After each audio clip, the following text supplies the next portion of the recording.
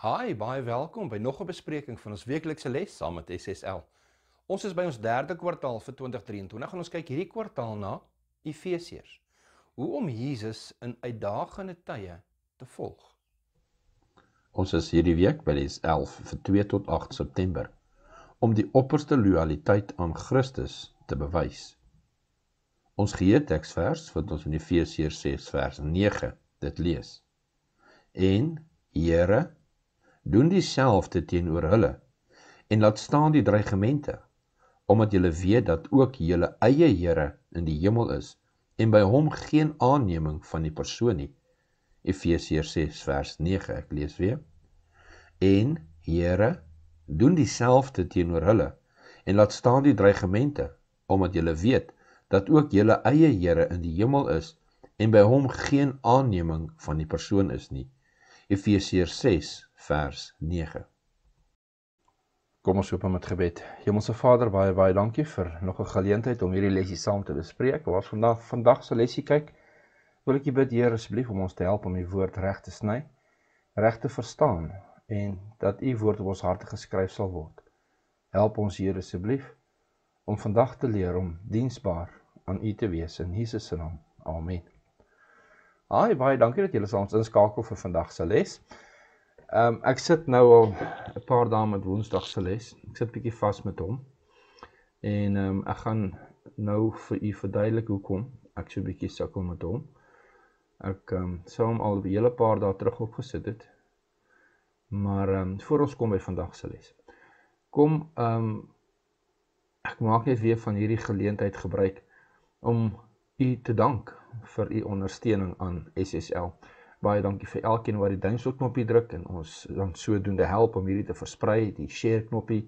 En die van u wat ons finansiëel ondersteun, baie baie dankie. Ons kry tans um om en by 3-400 rand 'n maand in wat mense vir ons stuur. Ons sê vir julle baie baie dankie. Um ons wil u vra as die Here u seën, u ons kan ondersteun. Ons besonderhede is hier onder in die beskrywing van die video. Ehm um, ons wil graag kyk of ons die wifi se kostes kan dek en uh, dan wil ons 'n beter kamera kry op die einde van die dag. Later wil ons ook ons nog solar bykry met al hierdie load shedding. Maar die battery nie die volle 4 ure nie, ongelukkig nie. So ehm um, u finansiële ondersteuning sal ons ook help om hierdie bediening verder te vat. En baie dankie vir elkeen wat tot dusver 'n bydrae gemaak het. Kom ons gaan nou na vandag se les toe. Ehm um, soos ek sê, ek sukkel met Woensdag se les. Ehm um, want as ons kyk na die opskrif, dit is slawe vir Christus.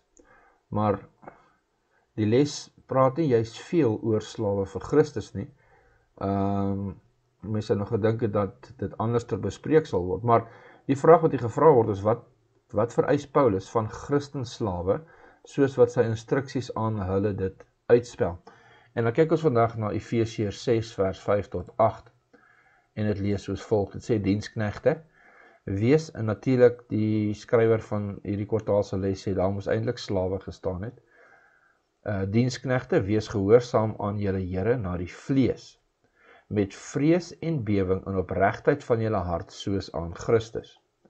Nie met oediens soos mense behaars nie, maar soos diensknegte van Christus wat die wil van God van harte doen en met goedwilligheid die Here dien en die mense nie omdat julle weet dat elkeen vir die goeie wat hy doen loon van die Here sal ontvang of hy slaaf is of 'n vryman.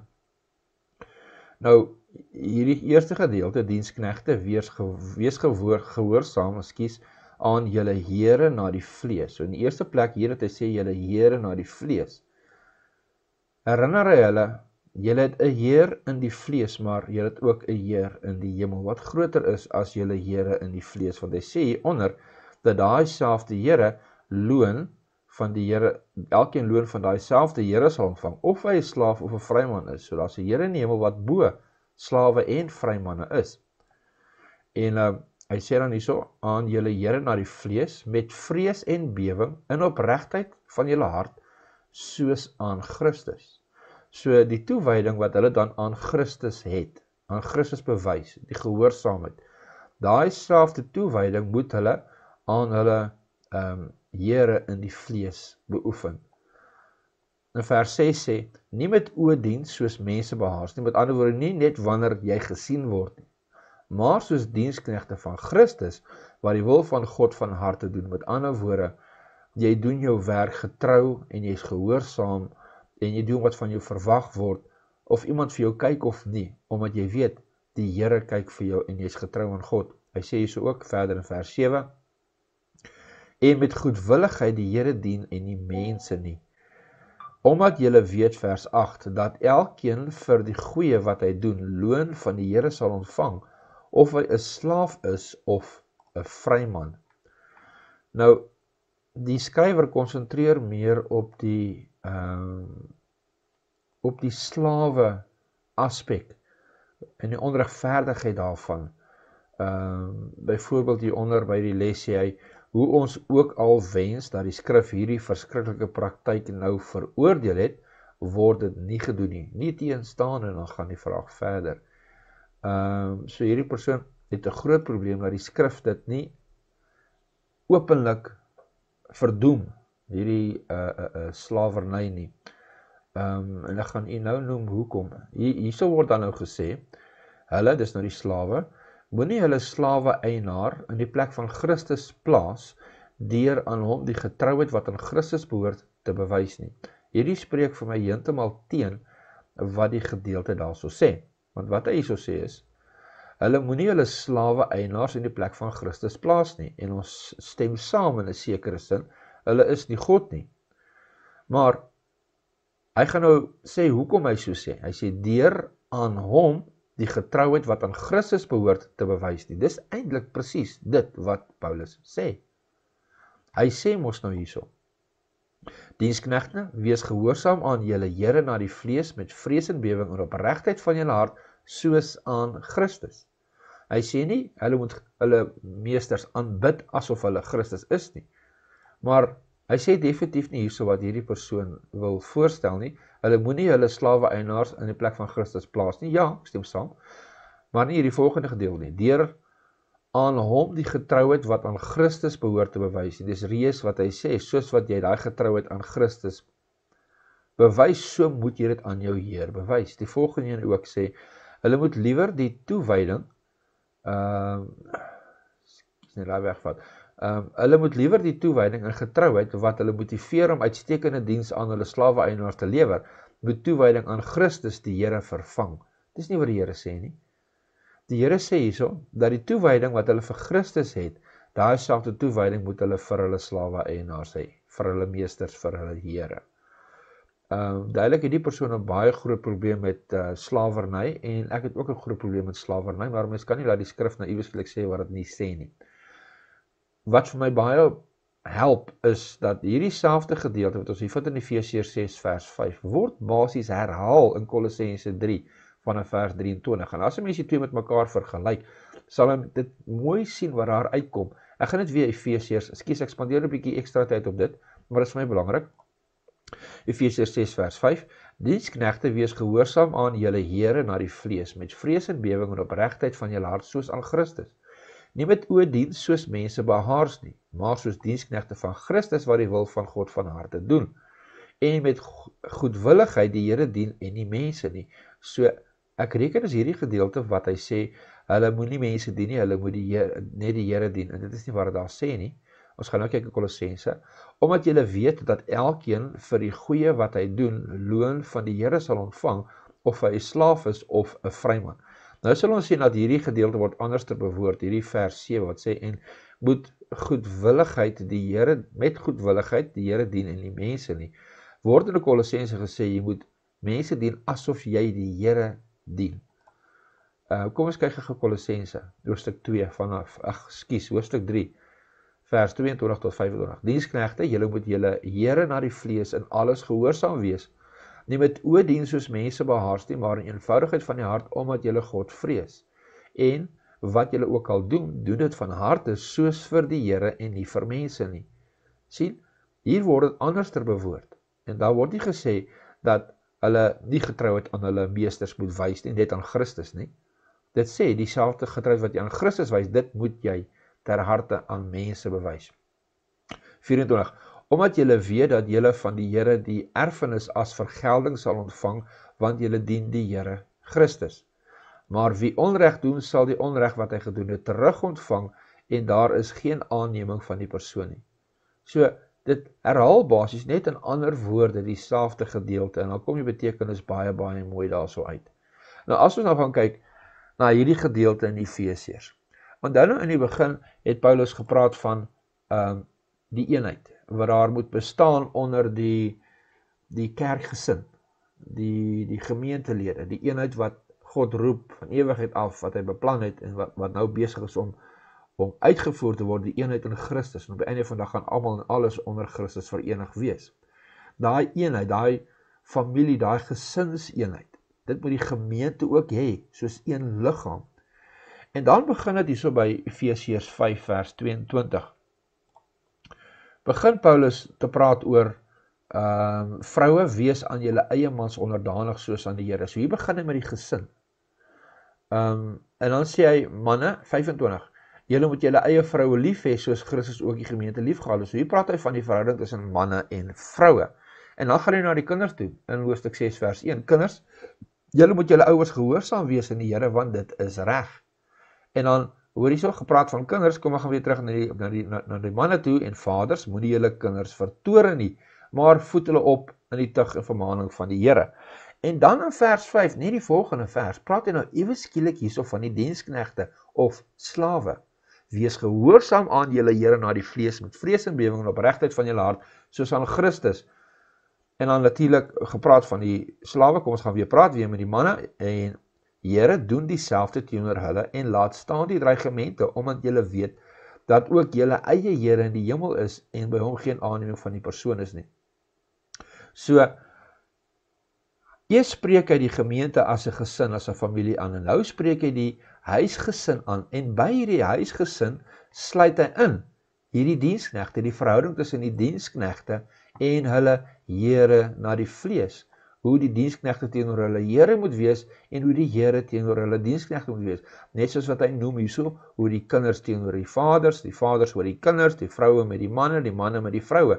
Daai verhouding Daar gee hy raad aan, maar hoekom sluit hy dit by hierdie gesins verhouding in? Hoekom sluit hy die diensknegte in? Want daai diensknegte was nie werkers gewees wat betaal was nie. Dit was diensknegte wat heel waarskynlik meeste van die tyd deur die familie saamlewe, deur die geslagte wat oor erflike eiendom was van jou pa of van jou oupa of van jou vorige geslagte waar hierdie gesinne deel was van die gesin. Saam in dieselfde huis baie keer gebly het saam in dieselfde tafel gesit het. Ons gesien hulle self saam in dieselfde huis kerke die Here aanbid saam die Here geloof en geprys hulle was deel van die gesin gewees hulle as ons dink aan die woord slawe vandag omdat daar so groot boep gemaak word oor sekere slawerny wat in die wêreld was. Alle slawerny was sleg geweest in hierdie wêreld. Ehm um, word die slawerny of waarvan gepraat word hier in die Bybel word beskou as iets verskrikliks en iets leliks en iets baie wreeds. In daai tyd was dit niks snaaks geweest. Dit was deel van die samelewing. Dit was 'n voorreg geweest vir 'n slaaf om deel van daai gesin te wees. Word jy daai gesin opgevoed, word jy daai gesin gevoed beklee beskerm want sou hulle uit die hande uitval van hulle van hulle meesters dan sou hulle in baie slegter omstandighede geval, omstandighede geval het want onthou hy skryf hier in Efesiërs en Efesiërs was voorheen heidene gewees ons sien dit in die begin van die boek Efesiërs waar hy sê julle was in voorheen was julle kinders van ongehoorsaamheid gewees was julle kinders van die duisternis maar nou is julle kinders van die lig gewandel in die uh, uh, soos kinders van die lig So hy praat hier van mense wat gewoond is aan die Romeinse gebruike van daardie tyd. En die Romeinse gebruike van daardie tyd teenoor slawe was baie wreed geweest. Jy kon 'n slaaf in sekere omstandighede sommer doodgemaak het. Maar as ons gaan kyk na hoe God voorgestel het dat hierdie mense behandel moet word, hy sê as jy slaaf doodmaak, moet jy doodgemaak word. As jy sê tand uitslaan, moet jou tand uitgeslaan word. Ehm um, so uh, da, daar's 'n groot miskonsepsie wanneer dit kom hierso by uh uh uh, uh hierdie slawe wat hulle gehad het. Was daar van hierdie Christen mense gewees wat hulle slawe onregverdig behandel het en mishandel het? Natuurlik, maar as die kerk daarvan te hore gekom het, was daar opgetree gewees. Want die reëls was daar gewees. Here, doen dieselfde teenoor hulle en laat staan die dreigemente. Omdat julle weet dat julle ook julle eie Here in die hemele is en by hom geen aanneming van die persoon is nie. En natuurlik, die res van die gebooie van God word ook alles hier ingesluit. Mens kan nie hierdie alleen gesien word nie, maar dit is alles om eenvattend soos God waar waar waar die Bybel sê jy mag nie oorspel pleeg nie. Ehm um, word daar gedink dat hulle het vroue gevat in hierdie tyd ehm um, as as uh seks slawe. Dit was nie die geval gewees nie. Nie soos daar vandag seks slawe is en waar hulle ge gesteel word en teen hulle wil hierdie dinge gedoen word. Dit was meeste van die tyd 'n ooreenkoms gewees. En dit was soos ek gesê het 'n groot eer gewees en 'n goeie versekering gewees om deel te wees van daai gesin as 'n diensknegt want dit was jou beskerming, dit was jou voeding gewees. Dit was iets wat jy na gestreef het en hulle het opvoeding gekry wat hulle anders nie sou gekry het nie. Ehm um, so ja, die die die die diensknegte en die heer se verhouding in daai tyd, veral wanneer kom by die kinders van God, was baie anderster as wat die mense vandag verstaan van slawerny. In die wêreld was die slawerny wreed geweest en verskriklik geweest. Maar ten minste kon hulle wanneer hulle by hierdie volk aangesluit het en die Jode was bekend geweest ons moet by hulle gaan dien. Want en as nasies het gesê ons sal onder julle dien. Ons sal onder julle dien want ons weet julle julle sal ons goed behandel. As jy in die Ou Testament gaan kyk na na uh, uh, um, die boek Konings en jy gaan kyk na uh, uh, patri um, wat's die uh ag wat's die boek? Wil ek gou kyk. Nou kan ek nie die boek onthou nie. Kan jy dit nou glo? Rigters. Rigters as kies daar my kop my verlaat. Maar gesels met my in die kommentaar hieronder want ehm um, ek hoor graag van u Hier praat word gepraat die opskrif vir slawe in Christus en hoe is ons slawe in Christus soos wat daai slawe daai dienaars onder die beskerming, die voeding, die kleding van hulle Here was. Soos ons ook onder die beskerming is ons die eiendom van Christus, want ons is duur gekoop. Baie van hierdie slawe was ook baie duur gekoop geweest. En soos wat hulle die eiendom van hulle Here was, soos ons die eiendom van Christus. En Jesus gebruik baie keer die slawe van daai tyd en hulle Here vergelyking, hulle diensbare teenoor hulle Here en hulle Here se se sorg teenoor hulle om sy verhouding, om God se verhouding met sy kinders te verteenwoordig. So dit is nie 'n slegte, 'n lelike ding wat hy daarso gestuur ge, gewys het nie. Maar die konsep van slawerny uh sien mense vandag net in een lyn. Uh, en, en hier moet ons sien in hoe Christus ons Heer is, hoe ons sy diensknegte is in liefde, hoe hy lief is vir ons, ons vir hom, dat ons sy lewe vir hom sal gee, dat hy sy lewe vir ons gegee het. En dis daai tipe verhouding daai liefdesverhouding. So kyk na Abraham se uh uh uh, uh se diens nee nie Abraham nie. Ek gedink wie was dit gewees wat uh Isak ja, ja Abraham wat sy diensknegt uitgestuur het om vir Isak uh 'n vrou te gaan haal. Hoe hoe daai daai dienaar, dit was 'n slaaf gewees. Sy sy houding teenoor sy Heer en sy getrouheid en sy liefde teenoor sy Heer. Uh uh, uh dit is daai tipe verhouding wat daar bestaan het. Dit was 'n goeie, nie 'n mishandeling nie. Dit was in die verlede was daar sulke dinge gebeur, maar soos ek sê, meestal in die wêreld en die heidense nasies. Ek wil net hê dan wat 'n miskonsepsie wees, want Jesus maak 'n baie keer vergelyking tussen ons diens aan hom en die diens van slawe aan hulle Heer. Dit was 'n goeie ding gewees. Nie soos soos wat die mense dit inkleer vandag nie. En dan praat ek nou van hierdie spesifieke geval in die Christendom uh in in in in die aanbevelings van God. Natuurlik in die wêreld soos ek al hoeveel keer nou gesê het, ek wil nie ek moet verkeerd verstaan word nie, was daar baie bose dinge. Is daar nog steeds baie bose dinge wat gebeur met slawe, uh diensknegte.